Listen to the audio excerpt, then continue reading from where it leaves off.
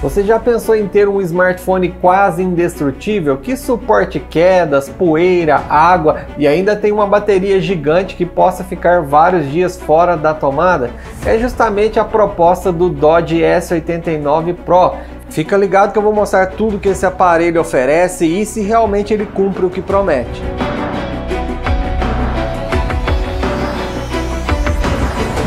Fala pessoal, tudo bem com vocês? O S89 Pro é um smartphone bem robusto que possui várias certificações, como a certificação militar que protege contra quedas, tem certificação IP68 e IP69K que protege contra água e também contra poeira. Ele pode ficar submerso por até 30 minutos a uma profundidade de um metro e meio e ainda possui uma bateria de 12.000 mAh que chega a durar de 4 a 6 dias para um uso normal e até 36 dias em standby. E ele também tem carregamento rápido de 65 watts, senão demoraria uma eternidade para dar uma carga completa numa bateria desse tamanho.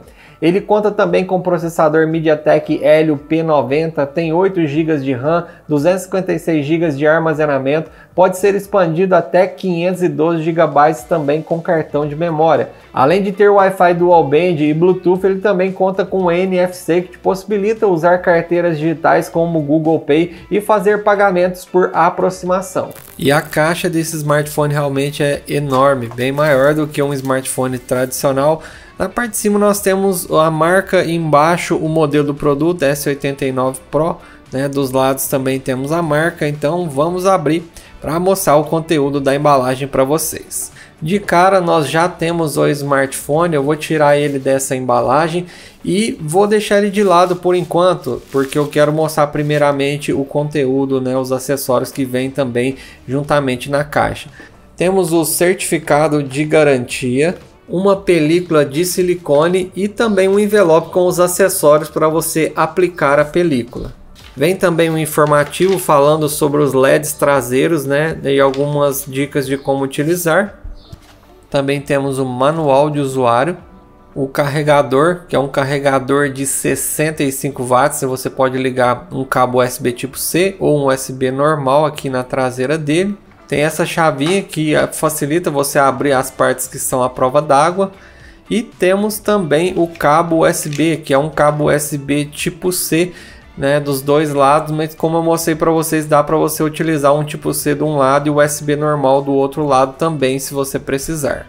Ele vem com a película protetora na parte de cima, com a marca e o modelo, vem com algumas informações sobre as certificações, né, e o local dos botões, né, algumas orientações básicas. Na lateral nós temos o botão liga e desliga, é, que é o leitor de impressões digitais também, tem o botão volume mais, volume menos. Na parte de cima nós temos uma entrada para fone de ouvido, né, que ela é tampada aqui como ele é a prova d'água, né, é só você tirar essa tampinha para utilizar o fone de ouvido. Na outra lateral também nós temos é, a entrada para o cartão de memória e também para os chips e o legal é que esse aqui você não precisa escolher entre dois chips ou um chip e um cartão de memória. Dá para você colocar ao mesmo tempo os dois chips e mais o cartão de memória. E temos também um botão customizável aqui que você consegue programar, né? Que mostrando que ele é a prova d'água. Na parte de baixo também o local onde você vai fazer o carregamento também é protegido aqui para não entrar água, né? E na parte de trás, ó, nós temos a traseira do smartphone, tem três câmeras na parte de cima, tem o flash, tem os LEDs aqui também, depois eu vou mostrar ligados para você ver. E essa parte de trás aqui, na verdade, ela tem uma capinha que vem adicional.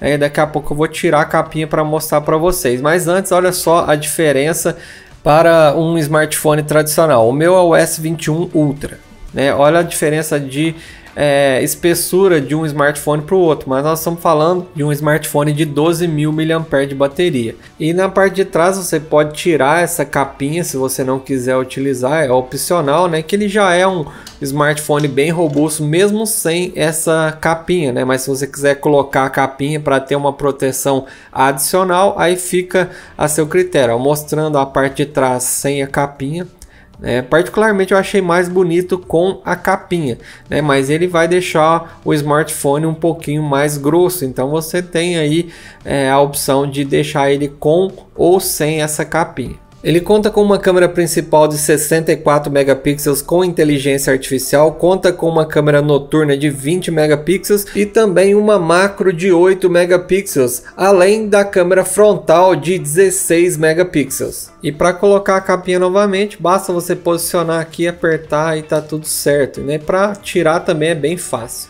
Então vamos tirar essa película protetora, vou ligar o smartphone, fazer todas as configurações, fazer diversos testes e depois eu volto aqui para falar para vocês o que, que eu achei desse smartphone. Ele conta com uma tela de 6,3 polegadas Full HD Plus de 1080 por 2340 com Corning Gorilla Glass. Possui também um leitor de impressões digitais na lateral junto com o botão Power e olha a velocidade do desbloqueio. Não é o mais rápido que eu já testei, mas ele funciona bem. E como ele possui certificação militar 810H, eu fiz vários testes simulando queda e dá uma olhada aí como ele se saiu.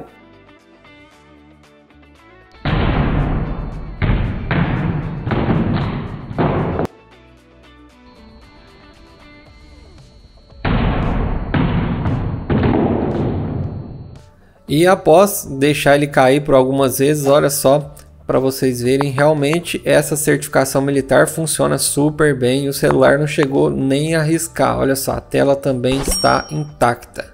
O S89 Pro também tem as certificações IP68 e IP69K que protege contra água e poeira. E antes de fazer qualquer teste, eu já verifiquei se estava bem fechadinho a parte de baixo, parte de cima e também aonde a gente coloca os chips para eu não ter nenhum tipo de problema. Depois eu deixei o smartphone bem empoeirado. Deu até dó fazer esse teste aqui, mas é preciso, né, para testar. Depois eu lavei ele aqui na torneira e já parti para o segundo teste. Eu deixei ele submerso por dois minutos, porque essa certificação IP68 diz que o smartphone pode ficar submerso até um metro e meio de profundidade por 30 minutos. Né? Como aqui a profundidade é até menor, então acho que não vai ter nenhum tipo de problema.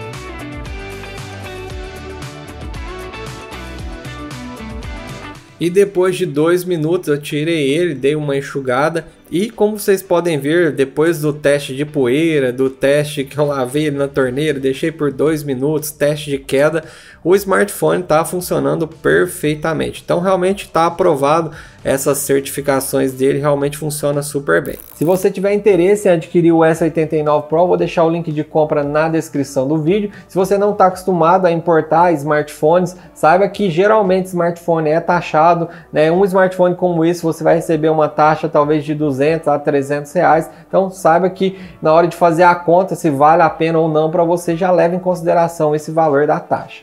E ele possui LEDs na parte traseira que tem vários efeitos diferentes e esse LED pode ser customizado para vários tipos de ações diferentes através de um aplicativo dedicado. Dá uma olhada. Aqui tem ó, seis funções diferentes: ó, carregamento, ligação, quando a tela estiver bloqueada, notificação, multimídia, né? Quando você estiver tocando uma música, então dá para configurar separadamente.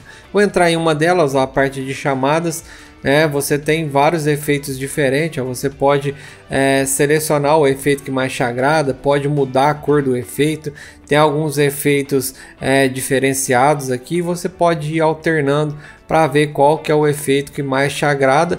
Ah, isso aí você pode fazer para cada função diferente. Assim você vai personalizando e deixando os efeitos do LED aí é, de acordo com as suas preferências. Voltando aqui, ó, você consegue entrar nos outros recursos também e é da mesma forma. Todos eles você consegue configurar dessa forma.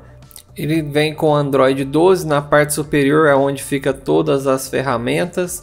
Vou entrar também nas configurações para mostrar as especificações dele ó, sobre o telefone. Se você clicar é, nessa parte de cima, você vai conferir né, que ele tem 8 GB de RAM, 256 GB de armazenamento. Além disso, tem as configurações básicas que todo Android tem também. Além disso, ele conta com algumas ferramentas exclusivas. Olha só, vou clicar na bússola para vocês verem. Olha só, isso aqui às vezes, dependendo da situação, pode ser útil para você, né? Se estiver acampando, alguma coisa do tipo. É, tem plumo, tem é, medidor de som, né? Tem várias funções aqui que você consegue utilizar, né? Que geralmente é, você encontra nesses smartphones mais robustos. Tem também o modo fácil, se você quiser configurar ele para uma pessoa idosa, uma pessoa que tem um pouquinho mais de dificuldade, por exemplo, fica mais fácil de você mexer e você vai adicionar na tela somente o que você quer que a pessoa utilize. Um outro aplicativo muito útil que vem com ele é esse System Manager, que você consegue controlar várias coisas do smartphone, como liberar espaço da memória RAM, liberar armazenamento, você consegue também entrar no modo de economia. Então, esse aplicativo realmente é um aplicativo bem útil. Além disso, eu também testei alguns jogos. Eu sei que esse smartphone não é específico para jogos, mas testei jogos como PUBG, Asphalt 9, Call of Duty e com certeza ele não vai rodar na resolução máxima, mas dá para você divertir à vontade. Estou deixando aqui um pedacinho do gameplay do Call of Duty para vocês conferirem.